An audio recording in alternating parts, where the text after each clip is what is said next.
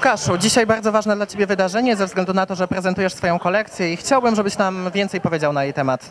To jest kolekcja Couture 2018, czyli sezon e, całoroczny. E, jestem projektantem głównie sukien wieczorowych. E, zbierałem tkaniny podczas swoich podróży, kompletowałem przez parę miesięcy tkaniny Couture z różnych stron świata, między innymi z Portugalii, z Włoch, ze Stanów i powstała kolekcja. Powstała kolekcja Łukasz Werra Couture 2018 i zobaczymy ją dzisiaj. A czym nas dzisiaj zaskoczysz?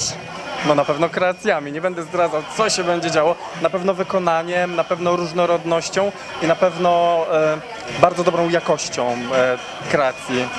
No i oczywiście takim pazurem, nie? Takim pazurem artystycznym. Nie każdy dzisiaj jest z nami. Gdybyś mógł nam powiedzieć, jakie kolory będą dominowały dzisiaj? Nie zdradzę. Zobaczycie na wybiegu. No dobrze. To jeszcze takie moje ostatnie pytanie na temat Twoich dalszych planów zawodowych. Dalsze plany na pewno międzynarodowe, ale na rodzimej Polsce też się skupiam, ale w mniejszej części zagranica jest dla mnie teraz ważniejsza. A jak wyobrażasz sobie siebie za kilka lat? Hmm, trudno mi jest powiedzieć. E, Mam bardzo duże ambicje i zawsze miałem e, duże ambicje. Rozwijam się w bardzo szybkim tempie. Myślę, że będę kiedyś ogólnoeuropejskim projektantem. Tego Ci życzę, a powiedz mi jeszcze tak na sam koniec, kto zaraził Ciebie w ogóle jakby mm, taką pasją do projektowania? Nikt mnie nie zaraził, ja się urodziłem z tym.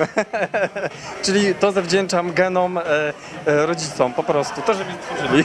Czyli to było w Tobie od zawsze. To było we mnie od zawsze. Ja się od zawsze zajmowałem modą. Dobrze, czekamy z niecierpliwością na Twój pokaz i dziękuję Ci za rozmowę. Dziękuję uprzejmie.